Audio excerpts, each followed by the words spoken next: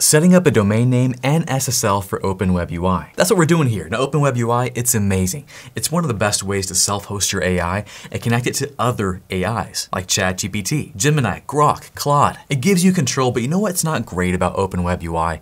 It doesn't have built-in SSL, which makes it kind of hard to get your own domain name, add an SSL certificate, and make it look pretty and secure for everyone that wants to use it in your group, your people. In this video, we're gonna tackle that, and it's gonna be kind of fun because we're gonna add some extra flavor to it. Here's what we're doing. By the way, I'm Network Chuck. Welcome to my channel. This is my second channel. If you haven't subscribed yet, hit that subscribe button, please. And please make sure you hack the YouTube algorithm. Hit that like button, notification bell, comment, subscribe. You gotta hack YouTube today, ethically, of course. Anyways, OpenWebUI. This tutorial assumes that you already have this sucker set up. And if you have no idea what I'm talking about, go watch this video right here. I'll walk you through setting it up and we'll get you to this point. And actually, you're probably jumping here from that video. Hi. Now you'll have OpenWebUI installed on some type of server. And you'll access the server by navigating to its IP address. For me, in my example, mine is 185.28.22.4. This is a public IP address that I have through my VPS hosting at Hostinger. Now I can access my server just fine, going out to 185.28.22.4 port 8080,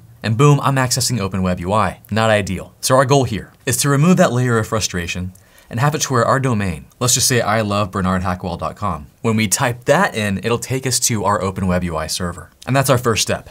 We need to acquire a domain name, if you don't already have one. Step two, we want to make sure that when people go to our website, it's nice, safe, and secure, and that's going to involve an SSL certificate. Cloudflare is no better place to do that. And while getting your domain name is going to cost you just a little bit of money, Cloudflare is completely free. And we'll offer a few more security features that you probably don't care about right now, but you'll be happy they're there. And finally, number three. This one's gonna be pretty fun. We're gonna set up what's called Nginx Proxy Manager. What is that? We'll cover more about that when we get to step three. Just know it's not crazy. I'll walk you through every step. And it's gonna provide some other opportunities that you may not be aware of. Now, asterisk assumption. I'm going to be assuming right now that you have a public IP address we can use. If you set up an OpenWebUI server in your house on a laptop or something, and it has a private IP address like 192.168.1.43 or 10.7.1.20, this scenario will not work for you. That'll have to be another video. Totally possible, but this will not work. You need a public IP address.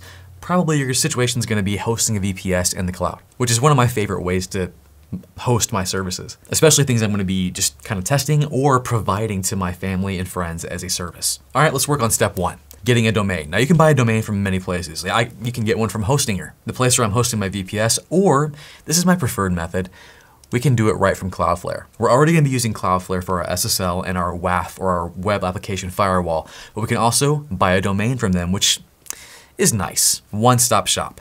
So go sign up for a Cloudflare account, just go to cloudflare.com. You'll eventually get to a place where it's like, hey, do you wanna add a domain? Do you wanna buy a domain? I'm gonna add a domain right now for me. And actually, it's like, add an existing domain, or register a new domain. That's what I want to do right now. Let's go. I'll search for one. I love bernardhackwell.com. Let's see if it's there. Got it. And tell you what, we'll do, gosh, .tech is expensive.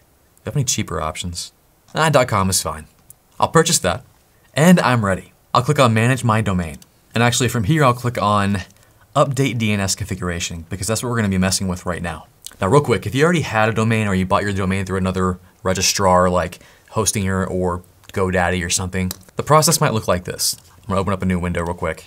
You would add a domain, enter an existing domain like mycooldomain.com. You would choose the free option, the free plan, and then if you click on Overview, they'll give you instructions to set up Cloudflare as your name server on your provider. Now, this is not my domain, by the way. I just totally entered it randomly, and it's owned by GoDaddy. So if you would go out to GoDaddy, and change your name server to these servers, good old Jade and Pablo. And once Cloudflare recognizes that that is your name server now, it'll show up here and you'll be able to do everything that we're doing right now. So now back to my new domain, I need to manage my DNS and look at my DNS records. And my goal here is to point this DNS name to my VPS, my server, the IP address I have. So we're gonna go to hosting here real quick and locate my IP address, which is this guy right here, 185.28.22.4.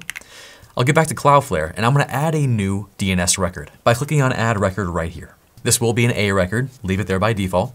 Now we're actually gonna add two DNS records. First, we're just gonna put an at symbol, which means when someone goes out to ilovebernardhackwell.com, it's gonna go to somewhere. In this case, it's gonna go to our VPS IP address. That's all we need. Click on save at the bottom right. Then we're gonna add one more, add record. This time for the name, we're gonna do an asterisk. And notice it kind of changes what our domain looks like right here, giving us, giving us an example. Asterisk dot ilovebernardhackwell.com. This enables us to have any subdomain. So for example, what we might end up doing, and we will end up doing, is saying like AI dot I love bernardhackwell.com. The AI being a subdomain. And you can make that whatever you want. AI, Terry, OpenWebUI. It's all covered by this asterisk. It's a wildcard saying whatever subdomain you have, it's gonna go to the same address that we put in right now, which is our VPS server. Boom, right there.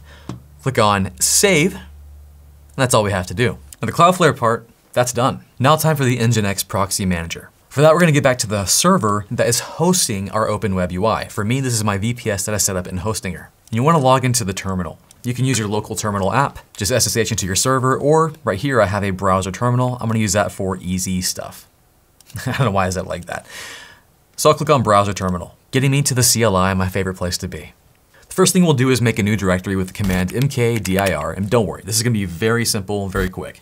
We'll make a new directory, and we'll call it npm for an nginx proxy manager. Boom. And then we'll jump into that directory, or change our directories by typing in cd npm, just like that. Now we're in there. And now we'll create a new file. We'll use the best text editor in uh, Linux period. It's called Nano.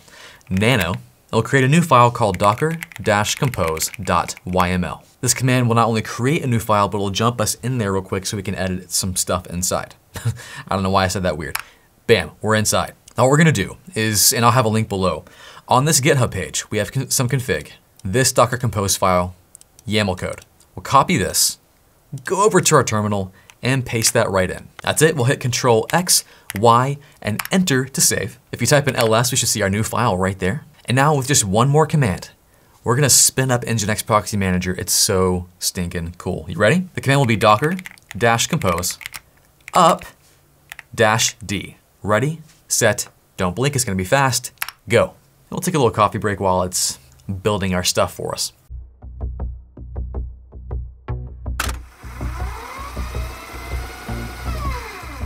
And that's it.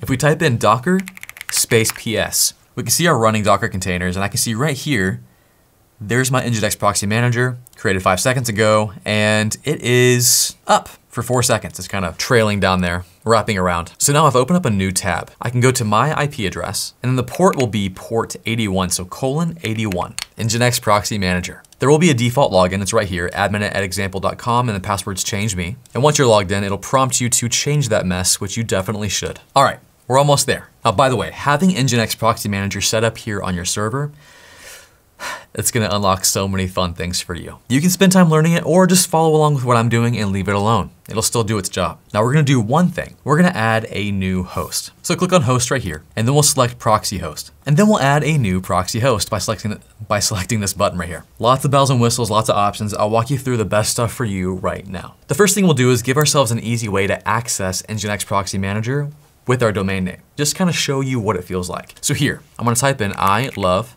bernardhackwell.com. My domain name I just bought and set up through Cloudflare. Just select it when you type it in, it'll fill in the field right here. The scheme will leave it HTTP, and then for the forward hostname or IP, we'll just put in local host because we want it to actually point to itself. And then we'll say port 81 because that's where our Nginx Proxy Manager admin interface is running. That should be all we need. I do like to uh, check WebSocket support just, uh, just in case, and then click on Save. Now check this out. If I go out to a new tab and I type in I love bernardhackwell.com, boom, Nginx Proxy Manager. Just like that. It's so quick. And then this is our last step, I think. We're almost done.